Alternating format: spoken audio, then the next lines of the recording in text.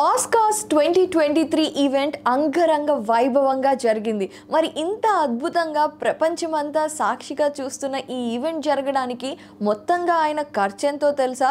దాదాపుగా నాలుగు వందల అరవై మూడు కోట్ల తొంభై రెండు లక్షల పై మాటే ఇది మాత్రమే కాదండి ట్వంటీ ట్వంటీ త్రీ ఆస్కార్స్ ఈవెంట్స్లో ఎన్నో హైలైట్స్ ఉన్నాయి. ముఖ్యంగా ఈ నైంటీ ఫిఫ్త్ ఆస్కార్ ఈవెంట్ని సెలబ్రేట్ చేయడానికి చాలా ట్రెండ్స్ని ఎప్పటి నుంచో ఫాలో అవుతున్న పద్ధతులని మార్చేశారు ఆస్కార్ టీం.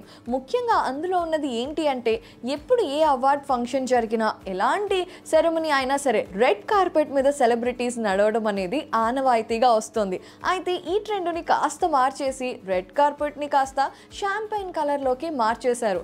అది మాత్రమే కాదు యాభై వేల స్క్వేర్ ఫీట్తో ఈ రెడ్ కార్పెట్ని సెట్ చేశారు. మరి దీనికోసం ఏకంగా ఆరు వందల గంటల సమయం పాటు అందరూ శ్రమించారట. ఇది మాత్రమే కాకుండా ఆ red carpet sorry champagne colour carpet మీద నడిచిన సెలబ్రిటీస్ అందరూ కూడా వాళ్ళు వేసుకున్న కాస్ట్యూమ్ దాదాపు పదివేల మిలియన్ డాలర్లకి తగ్గకుండా చూసుకున్నారు అని కూడా ఇప్పుడు వినిపిస్తున్న మాట. అది మాత్రమేనా? ఇంత అంగరంగ వైభవంగా చేస్తున్న ఆస్కార్ ఈవెంట్లో మన యాడ్ ప్రమోషన్ జరిగితే ఎంత బాగుంటుంది? ప్రపంచమంతా మన కంపెనీ గురించి ప్రోడక్ట్ గురించి తెలుస్తుంది అని చాలామంది ఆశపడుతూ ఉంటారు. అలాగే యాడ్స్ ఇవ్వడానికి కూడా వెళ్తూ ఉంటారు. మరి అక్కడ అక్కడ ఆస్కార్ ఈవెంట్లో మీ యాడ్ పడాలి అంటే ఎంత ఖర్చు చేయాలో తెలుసా? ముప్పై సెకండ్లకి రెండు మిలియన్ డాలర్లు. ఉఫ్ చాలా ఖర్చు అనుకుంటున్నారా? మరి world's biggest event Oscar awards కాబట్టి.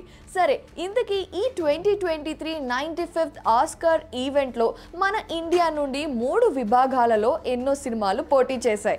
దాంట్లో మనందరం సెలబ్రేట్ చేసుకుంటున్న బెస్ట్ ఒరిజినల్ సాంగ్ నాటు నాటు ఆస్కార్ గెలవడం గురించి మనందరికీ తెలిసిందే. దీంతో పాటు బెస్ట్ డాక్యుమెంటరీ షార్ట్ ఫిల్మ్ విభాగంలో కూడా మన ఇండియానే గెలిచింది.